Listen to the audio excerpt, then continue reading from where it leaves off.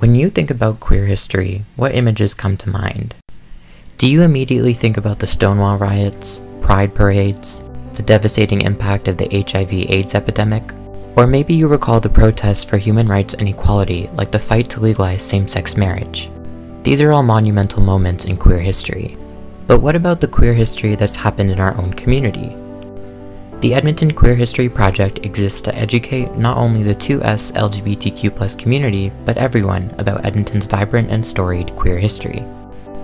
One notable story of Edmonton's queer history centers on the remarkable Michael Phair, who began his journey to activism when he was arrested with over 50 men as part of the Pisces Health Spa raid in 1981. Michael fought back through the courts and ended up winning his case while others had their lives ruined forever. Michael went on to become an influential community activist and became Alberta's first openly gay politician when he was elected to Edmonton City Council in 1992. Michael's courageous advocacy throughout the years led to the creation of many important community organizations that still operate today, including HIV Edmonton and the Edmonton Arts Council. As a result of his tireless community advocacy, Michael has been recognized by having a local city park and a junior high school named in his honor. Another influential story of Edmonton's queer history revolves around Delwin Vriend, an instructor at King's College who was fired due to his sexual orientation in 1991. Delwyn took his wrongful dismissal to court, and after seven hard fought years, his case was heard before the Supreme Court of Canada, and he won. His landmark case set the precedence for the inclusion of sexual orientation in the Canadian Charter of Rights and Freedoms, which led to the new protections being included in Alberta's Human Rights Act. Edmonton is full of queer history.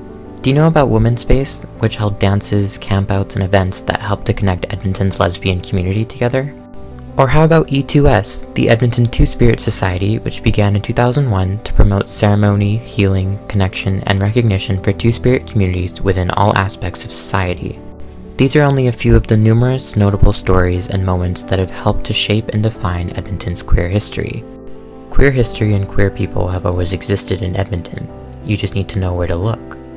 Through the Edmonton Queer History Project, we have researched and developed a queer history map, downtown walking tours, an interactive multimedia website filled with images and stories, and a new podcast, all designed to help make Edmonton's invisible queer history visible and accessible. Look and listen. You'll find and unearth stories about queer people from the past and present and how these inspiring leaders have helped to bring forth local and national change.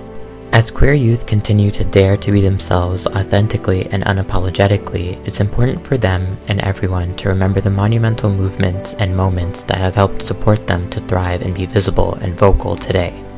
We invite you to join us in discovering the people, places, and moments that have helped to shape and influence Edmonton's queer history.